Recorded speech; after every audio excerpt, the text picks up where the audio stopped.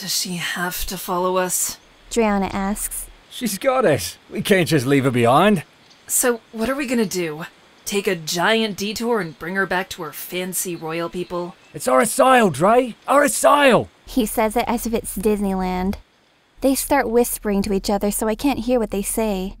I follow them deeper into the vault. It doesn't look like there's a lot of obvious treasure in here. No glittering stacks of coins or heaps of golden goblets.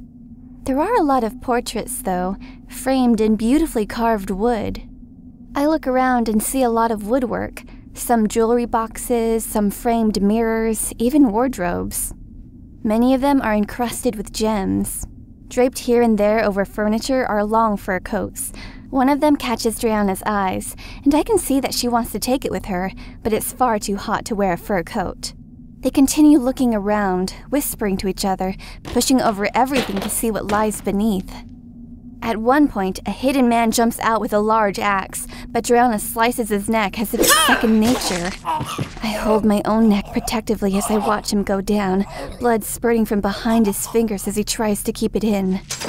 She starts tossing mirrors and headboards over her head as if they weigh no more than a shoebox. Wolf has to dodge some of them, and I stay behind at a safe distance. So, little girl. Dreana says, I take it you have met the Arisalian royal family? Yeah, What are they like? well, they're all very good looking. They laugh at this. and they're pretty polite, I guess, but the king drank a lot at dinner. Dreana laughs. The Arisalian king getting drunk in front of her serene divinity? Anyone else? Wolf asks, and Dreana elbows him. Ow! That alone makes him double over. Anyone else? Well, there's Jace. The crown prince? Is that what they're calling him now? Dreana spits. I hear he's quite a dish. Is that true?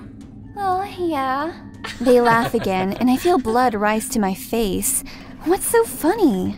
How about. Wolf starts, but Dreana elbows him again. Ow! She rises from a pile and holds a baseball sized dark metal orb.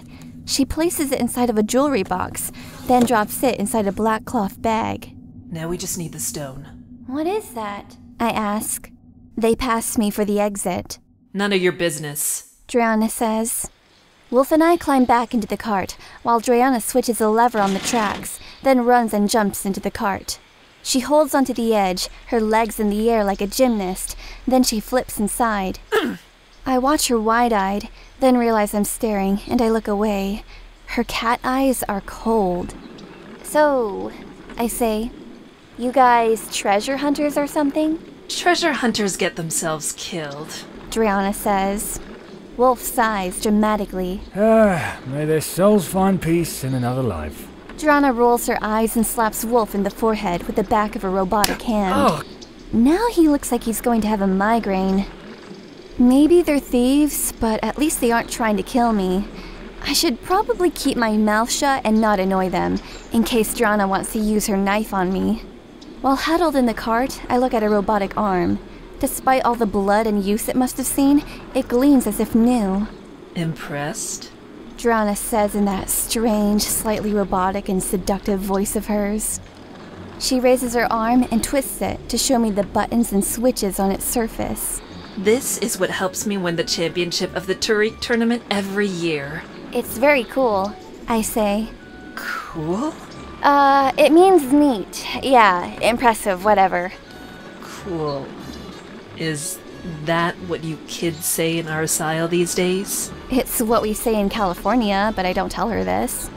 Wolf almost leaps at me with excitement. you should come to the Tyrique tournament. It starts the last week of Hermes. Hermes is September, I remember from what Jace told me. Uh, okay. I say, not sure whether I can smile or if it's okay to make a promise. Where is it? In Tyrique. Dreana scoffs as if it couldn't be more obvious. I don't want to ask them what kind of tournament it is, but the way Dreana admires her arm, I have a feeling it involves lopping off heads. What, have you been living under a rock? Dreana says, I wasn't born on stars? Wolf looks at Dreana as if he's waiting for her permission to gasp, but she just curses. No wonder. I hear her mutter, She turns on me with her cold, scary eyes and shouts. Then what are you even doing here? Do you want us all to die? I curl away from her. I. I don't even know!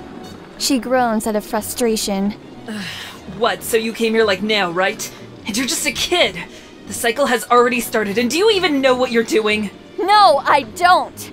I snap back. But if someone actually told me, maybe I would. Dreana smothers her face with her robotic hand and shakes her head. Oh lord, and we have to babysit you? I stand up, then realize it's dangerous with the cart moving, but I'd rather not be below her. Even when both of us stand, she's still a lot taller than me. You don't have to, I say. I can find my own way back to Arisile. I'll leave you alone once you stop this cart, Dre, Wolf says, widening his eyes like a puppy. stop being so mean. She tosses her hair and crosses her arms. Fine. She looks at me and snarls. Sorry. Let us at least find you a ride back to your frilly kingdom. We can't just leave you to die out here. Everyone will hate us. She eyes me up and down. Now sit. I'm the only one allowed to stand.